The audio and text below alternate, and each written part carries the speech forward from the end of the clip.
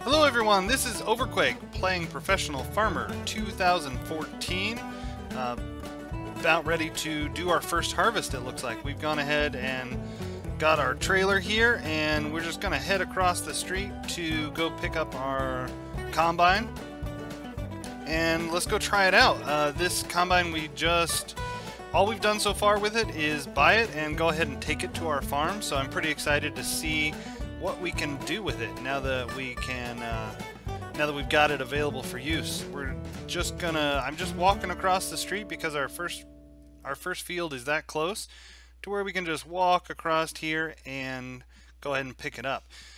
Um, a recent update has um, it looks like it's given us a new option to go ahead and um, switch vehicles from the map menu, which is pretty exciting. Uh, I did try that out in our last episode.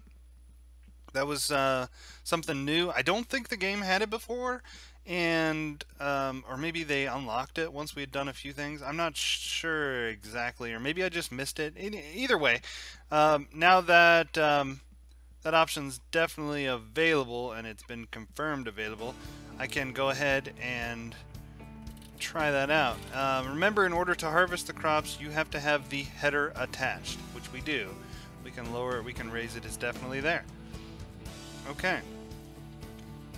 Right, yeah, I get it. I get it. Raise, lower, turn it on, turn it off. I played around with those buttons while we were traveling here. Pretty familiar with that. So now it's just asking us to move the combine to the field, which was pretty predictable considering the fact that we've got to harvest something. Can we fit through? Yeah, we can fit through here. No problem.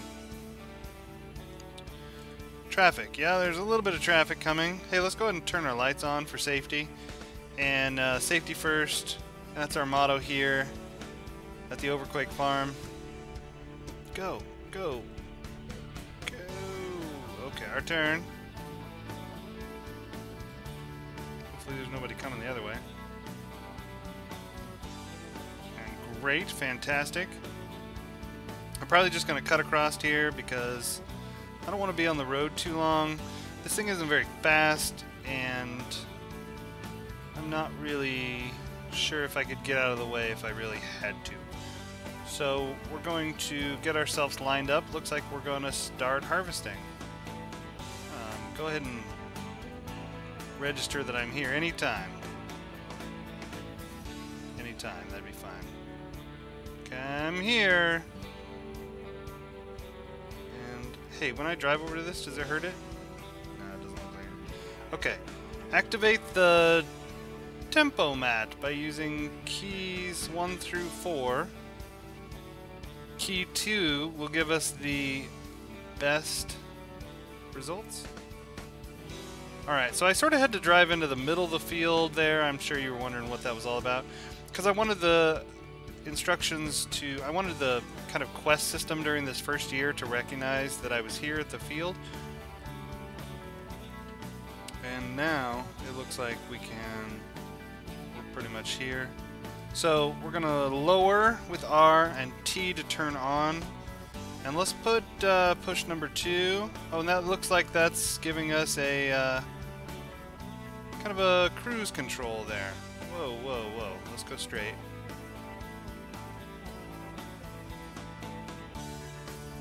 Okay, and here we're going, we're filling up the internal, and yeah, we're definitely dumping out straw there. Okay. Good, so now we're harvesting for the first time. Um, that's pretty exciting. It's got a, it seems like pretty decent internal storage. Um, not amazing, but I mean, maybe halfway through this first row. Uh, it might take us 10%. Might take us to the 10% full for every row. We'll see. That'll give us 10 passes. That's pretty good. This is a small field, but it looks like um, many of the fields on this map are small.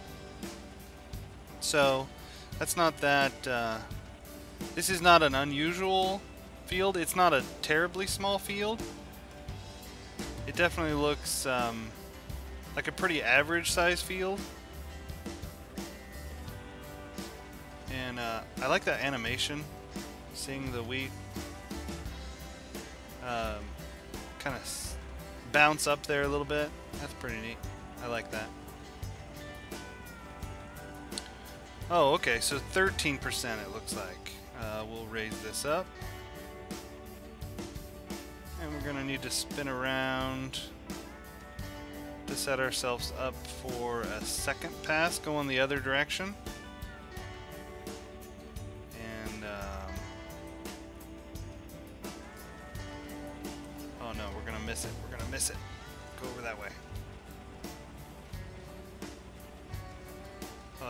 To see from the cab. I'm going to switch views here. Yeah, see, I kind of over overdid it a little bit. Now we've got that header sticking out a little bit where it's not being used. That light actually makes it harder to see. So yeah, that's that's a little better. That's not so bad. We, we didn't miss by too much, and uh, we're still getting used to this, so not so bad. Not so bad at all. So what I'm going to do is I'm going to go ahead and continue harvesting this field until either we fill up and have to run over to the trailer because that'll be our first time trying to dump into the trailer like that or we have completed and then we still have to do the same thing. So either way, I'm going to come back when that's all done. And now that we've got got a process started here, yeah, I'm feeling pretty comfortable with this. It seems to be pretty simple. I think we've got this figured out. You can see us inside there. I'll go ahead and pause the video no real reason to watch me go up and down in rows over and over again. I've done two just to show you kind of how it's working. Kind of shut it off and raise it up so that I can switch. And so, yeah, I'm loving this. We're uh, we're in the middle of our first harvest, so that's kind of amazing. I'm pretty excited about that. I'll come back when there's something else going on, when either we're full or we're done and I'll see you then. Alright, here we are. We've gotten to 84% full, and um, it was somewhere in the low 80% that it gave us a warning here that the combine is overfilling and that we needed to store this grain in a trailer or silo. So that's interesting. Um, I don't want to overfilling sounds bad, but on the other hand, I would expect it to be able to hold up to its to 100% full. I don't understand why the warning comes at this point, but hey, you know what? Let's uh, that'll give us some more practice. I have no problem uh, taking this over before we do these last. It looks like two-ish passes. Uh, not a problem to go ahead and dump this and then come back for the last two passes. That'll give us some practice and uh, should be interesting. So we'll go ahead and shut that off. Raise it up. 92%. So there's not quite enough room to do... Um, definitely not enough room to do everything. Uh, this whole field. So we'll go ahead and head over here and hit F to our, open our uh, mower, it says. I don't know. Open the pipe, and we'll get ourselves into position. Uh, something like that should do the trick. And um, V key now shows up to start, stop spilling the grain. So we want to make sure we're definitely yeah, it looks lined up. Looks fine. Looks fine. Let's hit V and see what happens. Okay, well, the um, trailer's filling up, so that's looking That's looking fine. Yeah. Alright, and we will go ahead and stop that, I guess, by pushing F and or by pressing V and bring the pipe back inside with F and go do our last couple of rows. So this uh, that's a pretty easy process it looks like. I don't know if the game will allow us to spill outside of that trailer or not. I don't know. Farming Simulator doesn't let us make errors like that, so I'm not sure if this one will or not. Not sure. Uh, that's something to be discovered on another day. For now, I'm going to just make sure everything is lined up just so, so that I don't, until I, so that I don't accidentally fill anything up like that accidentally. So, we'll see. Um, when I know more about that, I can figure out whether I need to worry about that or not. It, it might even be kind of like Farming Simulator is that you can't really make that mistake. I'm not sure at this point, so I'm a little nervous about it, but that's okay. Um, we'll just do these last two passes and be all set. It is just about the middle of December right now. This morning I went out and uh, mailed a mailed a package with some uh, presents in it for Christmas to some family who lives a couple states over and so that's um, that's been going on. The post office is crazy. Um, it's strange to see a line just to mail a box, but um, that's I guess that makes sense this um, uh, this time of year. I kind of anticipated that. I went early on a Saturday while they were still open and uh, tried to take care of it when I could. Uh, they're giving us a new task to take the combine back to the garage, but I'm not going to do that. I'm definitely going to finish up this field. So, seeing as how it is nearly the middle of December, if you haven't mailed out all those packages and everything you need to send out, it's about time. It's definitely time. I've got our uh, Christmas tree all set up. There are way too many presents under the tree. My wife was telling me last night that we might have gone overboard on Christmas this year, and um, which kind of confused me because I thought that was the point, but that's okay. I uh, I can understand. We don't want to go crazy, but it's just it's fun. Um, Something I realized after having children was that the only thing cooler than opening presents on Christmas for yourself was to like be able to like buy all that stuff. It's kind of fun to go shopping. Um, online, of course. I don't. Why would I go into a store? I mean, if Amazon will ship me just about anything I want, I don't see the point in waiting in all those lines. I've been you know, as I drive around, like malls right now are just crazy. You know, it's weird, like big stores, how they have these gigantic parking lots, and during the summer you forget that they actually use all of that parking lot. Some of the, you know, in December. But it just seems like a strange use of real estate to make these gigantic parking lots around malls and Walmarts and, you know, Targets and big stores confusing that there's that those parking lots are that huge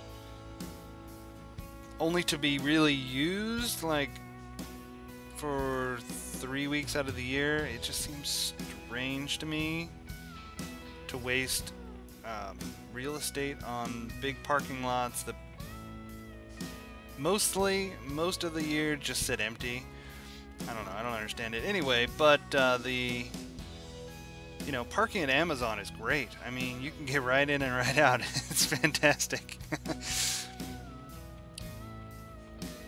yeah, so that's all I have to say about that is I did I Christmas this year was 100% online. Pretty excited about that.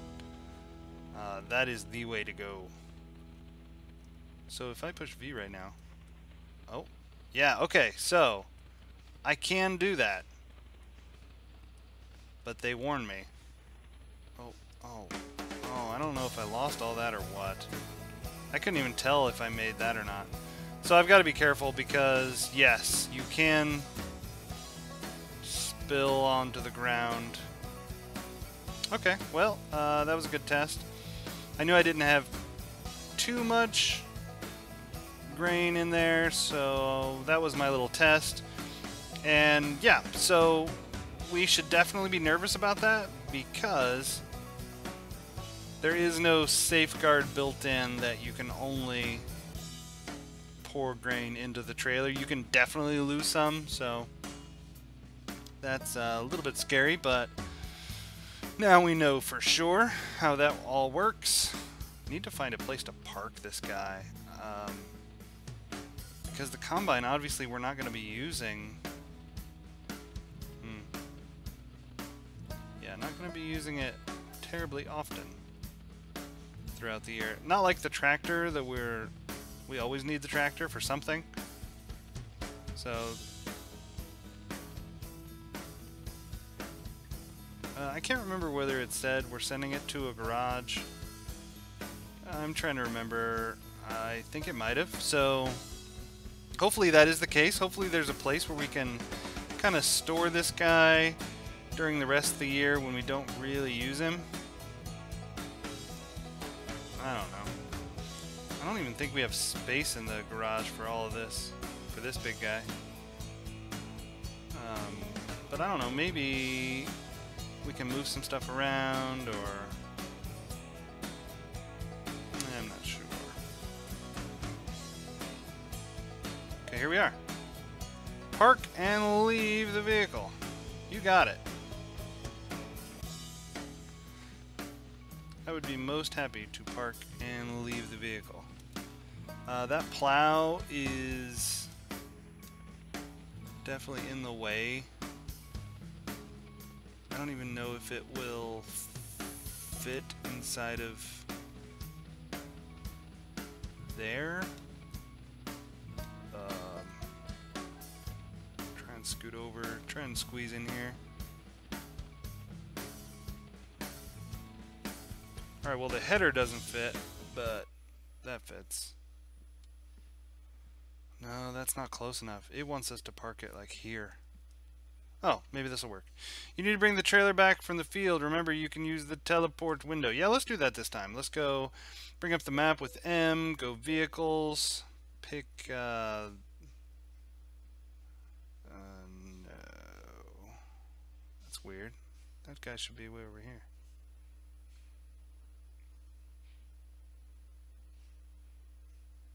Where is the, uh...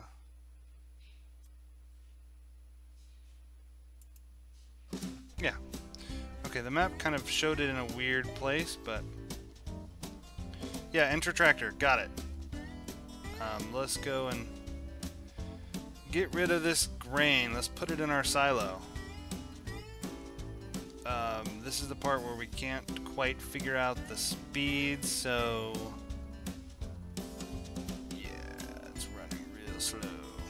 Okay, well this takes like 10 minutes just to get across the street, which is painful to do, and I'm sure it's painful to watch. So I'll probably, yeah, I'm gonna pause the video, uh, take this guy over across the street, and uh, I'll join you when we're back there at the silos. Okay, here we are back at the silos. Um, that took a couple of minutes just to cross the street. I mean, yeah, it's going so slow. Now, I've started to think this through, and it could be that I'm maybe not even doing anything wrong. It might just be that this particular tractor just doesn't have the pulling power to uh, go faster than 7 or 9 kilometers an hour. I'm not... It could just be that simple. Okay, so now we can go ahead and hit R and trolley up. That should go ahead and take care of... Wow, that's just...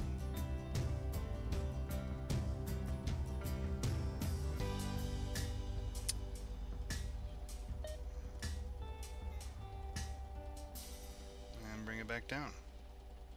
And that should have uh, put some wheat into our into our silo now. So now we can go ahead and take these this guy back.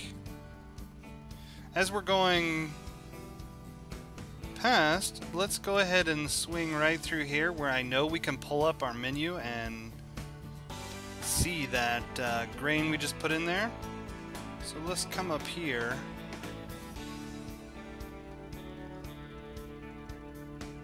And check that out. Because right in here, shouldn't that pull up a menu? Yeah, silo menu, pull that up. And it shows that we have 10.25 tons of wheat stored in there now. So we could pour this back out into this guy and um, then we could take it to market or something like that, I guess. So, okay. But I bet you they're going to have us use that baler right there. That's just a guess. Now that we've got all that straw sitting there on the ground, kind of makes sense, right? So we need to put this trailer back. Now, there's not really room to do that per se. Um, yeah. Because I sort of had to put this guy there. So not everything sort of fits. So, new plan. Yeah, here's what I'm going to do. I'm going to go ahead and park this here. And hopefully the game doesn't complain too much about that. If I swing around this baler, I can go ahead and point it the right way and just detach it here, I'm guessing.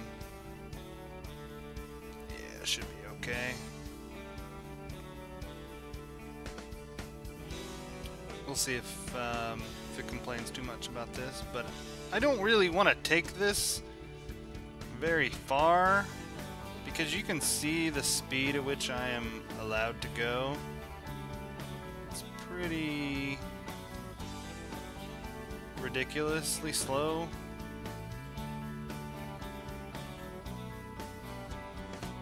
It's like 7 to 9 kilometers an hour, and it doesn't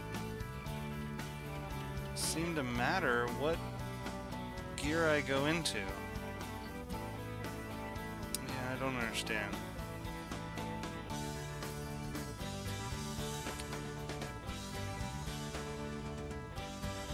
Yeah, well...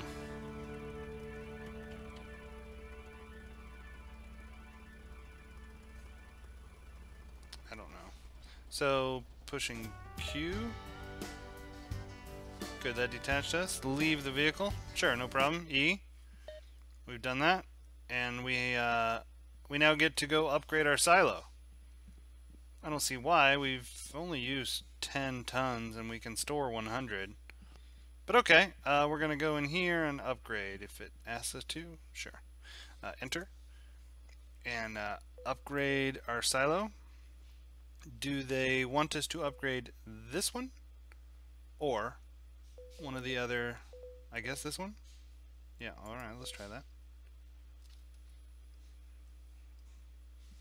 oh much taller now much taller okay now you need to bale the hay that was left on the fields so we're gonna yeah we'll bale this all up.